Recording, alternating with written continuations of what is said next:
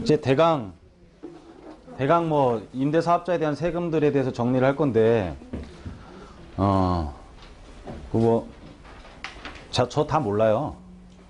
세무사가 해야지. 근데 이제 이런 게 있다 정도만 알면 되고 그죠? 어 지금 법이 만들어지다 보니까 뭐 법에 대한 부분이 뭐 빠진 부분도 있고 아직 미비한 부분도 있을 거예요. 근데 뭐 세세한 것들 경우의 수를 너무 많이 이렇게 해가지고 어려운 부분 세- 제가 잘 몰라요. 예? 어떻게 될지도 모르는 거고 아직까지 결정 확실히 나- 난 것도 모르고 세무사들도 제가 좀 저도 좀 까다로운 부분들 물- 물어봤더니 어, 세무사들도 잘 모르더라고. 이제 시행하는 거니까 나 여러분들이랑 똑같은 시점에서 시, 시작을 하는 거야. 이제 시작하는 거니까. 세무사들 전화해서 물어봤더니 다 어, 일 있다가 끊더라고 잠깐. 어, 물어보니까는. 네? 좀 이따 가르쳐 준대. 지금 일, 일 있다고. 뭐 하는 거예요? 지도 찾아보고 있는 거잖아요. 그죠? 그 한참 있다 전화 오더니 확실하진 않지만 이렇게 알- 얘기를 하더라고. 그래서 근데 이제 활성화 방안이고 이런 게 있다. 이용하면 좋겠다. 그래서 어, 시장 정황과 임대사업자라는 부분과 어, 어떤 혜택과 이런 것들에 대한 교집합을 만들면 이제 내가 어떤 걸 할 수 있겠냐 이제 이런 것들이 나오겠죠. 그래서 뭐 쭉 여태까지 설명드렸던 현재 시황들, 현재 분위기들과 임대 사업자라는 부분과 임대 사업자에 대한 혜택 부분에 대한 교집합을 찾는다면 예? 아, 우리가 투자하는 데 있어서 좀 리스크를 많이 해지를 할 수가 있겠죠. 그죠? 그래서 이렇게 보시면 될 것 같고 뭐 막 적을 것도 없고 쓸 것도 없고 그냥 이, 이런 게 있는 것만 알면 돼요. 자, 취득세는 어, 취득세는 어, 전용 면적 전용 면적 이제 그 60제곱미터 미만에 대해서는 어, 내야 될 세금에 내야 될 세금의 15%만 내면 된대.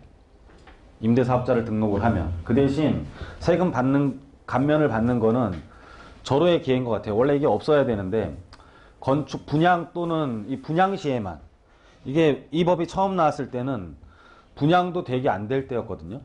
경기가 안 좋을 때 나왔단 말이에요. 2014년도. 예? 경기가 안 좋을 때 처음에 시작이 됐는데 분양도 활성화 시키려고 이거에 나온 거야. 지금 분양 너무 잘 되잖아요. 근데 그 부분이 남아 있는 거야 아직. 그러니까 이용해 볼 만한 거지. 그죠?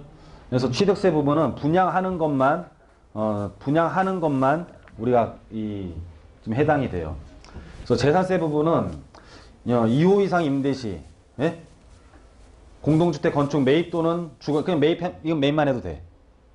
분양이 아니라 매입을 해서 2호 이상 우리가 임대사업자 등록을 내면 어, 재산세액을 50만 원 초과하는 거에 대해서 85% 감면을 받는데요.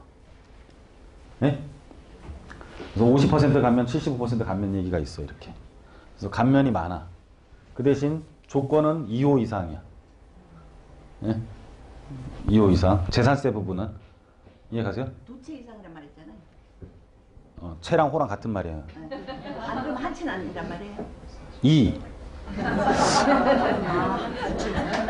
1 2 2 자, 취득세, 재산세 감면 기간을 연장하고, 자, 재산세 감면 대상을 이제 확대하고, 어, 2021년까지, 예? 취득세, 재산, 재산세를 2018년까지 한다 그랬는데, 2021년까지 3년 연장을 한대요. 자, 재산세는 8년 이상 장기 임대하는 소형주택 40제곱미터 이하인데, 1호만 임대하는 경우에도 이제 혜택은 감면이 돼요. 그 대신 장기로 임대를 해야 돼. 1호만 임대하는 거는. 어, 예. 그래서 어, 8년 이상 장기로 임대하는 거. 1호만 임대할 때 재산세를 감면받으려면 장기로 임대를 해야 돼. 장기. 이해가세요?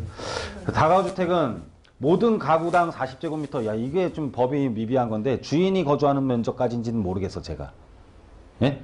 임대하는 부분을 말을 하는 건지는 모르겠고 8년 이상 임대 시 재산세 감면 혜택을 부여하겠대. 아마 임대 부분일 것 같은데 제 생각에는 왜냐면 다가구가 주인이 거주하면서 주인도 뭐 좁은 데 살고 다 임대 이런 이- 이런 다가구가 별로 없거든요. 그래서 아마 이거는 물어봤더니 모르겠대요. 예?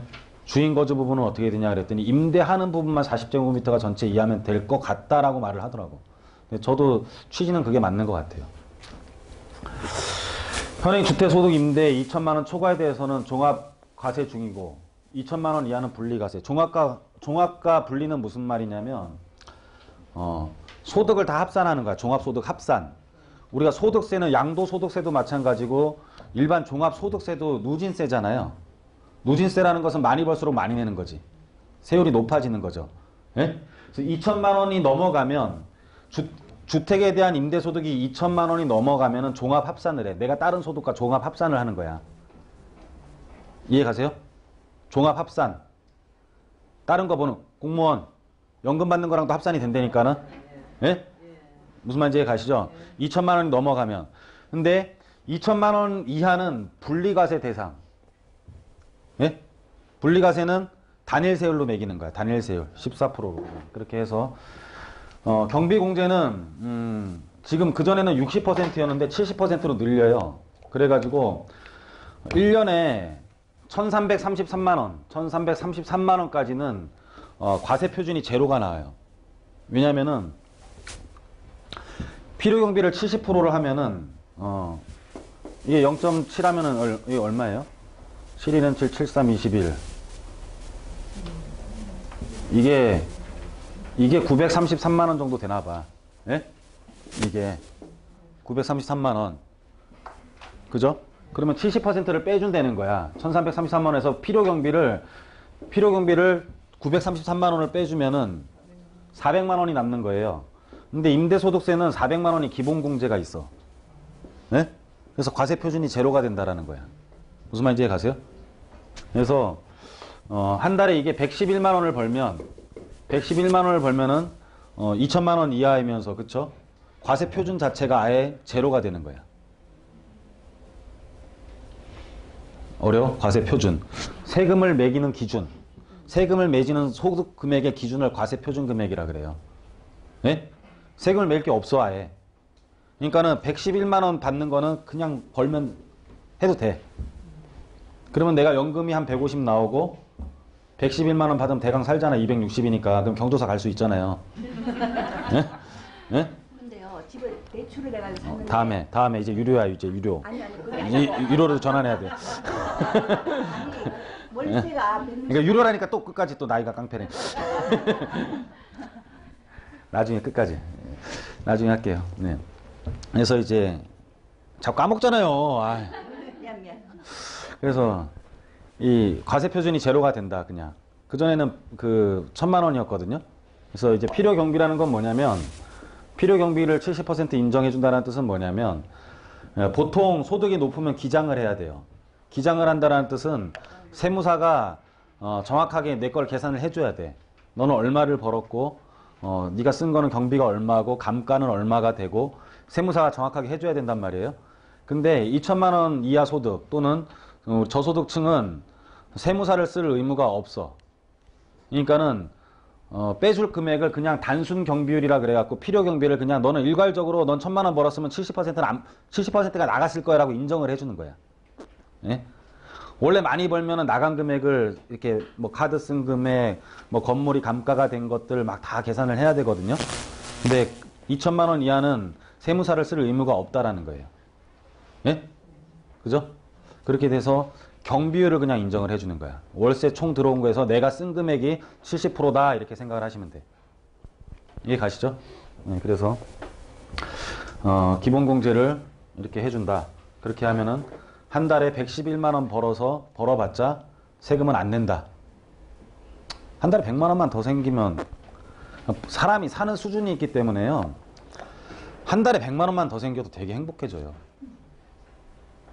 떼돈을 벌려고 하면은 투자를 못 하는 거야. 응? 뭐 압구정동 현대 아파트가 최근에 뭐 1년 동안 5억이 올라 7억이 올랐거든요. 그런 걸 따지면은 자꾸 불행해 돼. 불행해져. 돈도 없으면서. 그냥 한 달에 100만 원만 더 생겨도 얼마나 생활이 달라지는데 본인이 100만 원만 한 달에 더 생겨도 어머니 가서 이 메뉴판에 그, 금액을 안 시키고 음식을 시킬 수가 있어. 7천 원짜리를 안- 그, 금액을 안 보고 먹고 싶은 걸 시킬 수 있다니까. 한 달에 100만 원만 더 있어도 맞아요. 근데 지금은 금액 금액을 시키잖아. 네. 메뉴를 안 시키고 오늘의 메뉴. 네. 네? 그러니까 이 100만 원만 더 있어도 이게 괜찮은 삶이 되는 어차피 뭐 행복해지려고 하는 거 아니에요? 지금 뭐 지금 연세 있는 분들은 이제 역전을 노리는 것보다는 이제 준비를 하고 안정을 취하고 그죠? 예, 이런 이런 거란 말이야. 지금은 왜냐면 실패를 하면 이제 회복할 수 있는 시간이 짧으니까 나이에 맞게 이제 투자를 하셔야 된단 말이에요. 근데 이제 젊은 사람들은 한 번은 도전해 볼 만해. 언제까지 그렇게 살아? 살 날이 더 많은데. 예? 도전을 해볼 만하다라는 거지. 근데 나이가 드신 분들이 어머- 어머니가 막 한남 뉴타운 투자해서 뭐 어떻게 뭐 하겠어, 솔직히. 그래요? 입주할 때 뭐 90에 입주하면은. 근데요. 어, 90에 입주하면 뭐 행복해? 근데 갭 투자해도요.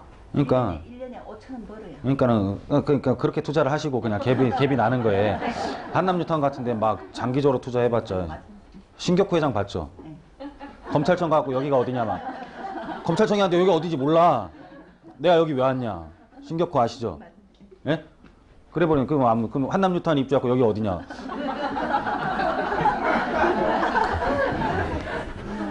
이제 이제 그러면 안 되는 거잖아요, 그죠? 본인에 맞게 그냥 매달 110만 원씩 탔으면 더 좋은 거야, 그게, 그죠? 본인에 맞게. 근데 젊은 사람들은 좀 도전적으로도 투자를 한번 해볼 만도 하다는 거예요. 왜냐면 안 되면 회복하면 되지 뭐. 뭐 1억 없으면 어때 살면서, 그죠? 자, 건보료도 정상 부과한다. 소득분부터 하되 어, 2천만 원 이하 분리과세 대상 사업자는 임대 의무 기간 동안 어, 건보료 인상분을 대폭 감면한다. 그래서 연 2천만 원 초과 임대 소득에 대해서 현재도 소득세와 건보료 이렇게 부과 중인데 어, 보면은 뭐 이제 가입 유형별로 건보료, 건보료 인상분을 봤더니 그렇게 많지가 않대요 그냥 예? 그렇게 많지가 않고 임대 소득이 연 그러니까 월 111만 원만 벌면 아들 밑으로 들어가도 돼 예? 임대 사업자를 내면 아들 밑으로 못 들어갈까봐 겁나잖아 막 아. 아들이 여태까지 제일 잘한 거. 아들 밑으로 들어가. 그렇지. 아들이 제일 잘한 게 의료보험이잖아. 의료보험. 평생 효도 중에 제일 잘한 거 의료보험. 그게 그거 그게 끊어질까봐 그러는데 어머니가 111만 원까지 벌잖아요. 아들 밑에 의료보험 피부양자를 유지를 해. 아 내가 임대사업자는 오늘 많이 벌었네 오늘. 아 아멘. 아멘. 아, 아, 예, 예. 예, 그래서 피부영자 자격을 유지한대요. 예?